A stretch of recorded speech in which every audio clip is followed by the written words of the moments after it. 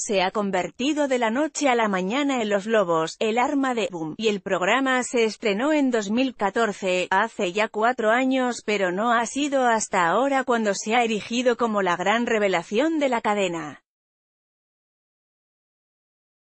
Tanto es así que la competencia se ha tambaleado por la subida de este concurso que arrastra a toda la parrilla de Antena 3.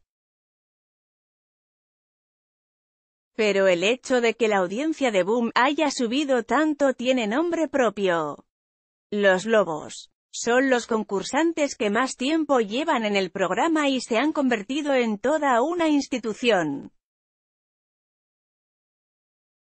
Que lleven tanto tiempo en el concurso a fidelidad a la audiencia, los Lobos llevan ya más de 300 programas en el concurso presentado por Juan Rabonet. Eso ha ocasionado que la audiencia quiera saber qué es de estos cuatro hombres que están haciendo historia en la televisión. Ya se han convertido en parte de la familia. Y es que hay programas de televisión que han durado mucho menos en pantalla que estos concursantes.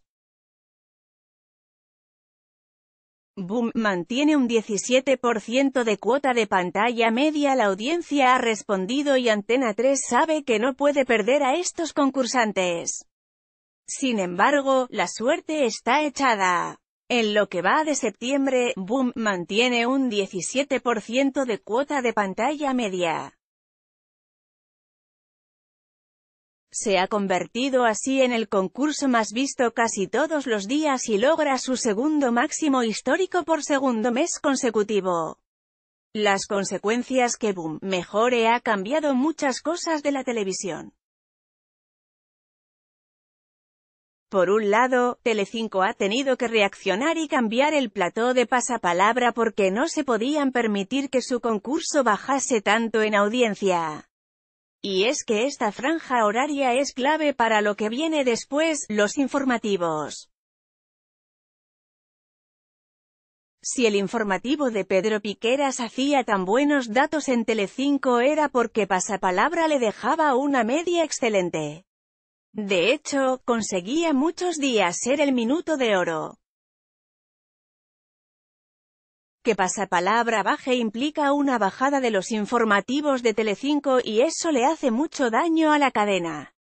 Que pasapalabra baje implica una bajada de los informativos de Telecinco por el contrario, que Boom suba ha provocado que el informativo de la noche de Antena 3 Noticias también haya crecido. La segunda edición se encuentra en sus mejores momentos desde 2012.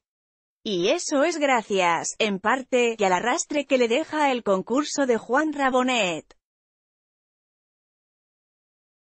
Gracias a la subida de Antena 3 Noticias 1, por la ruleta de la suerte, y Antena 3 Noticias 2, la de A3 Media se ha convertido de la noche a la mañana el líder de informativos, de ahí que los lobos se hayan convertido en los niños mimados de Antena 3.